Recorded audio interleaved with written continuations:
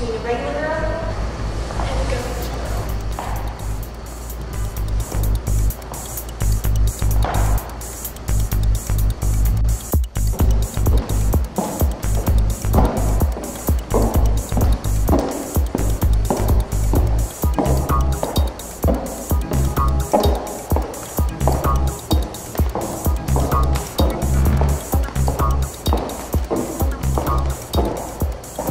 Thank you.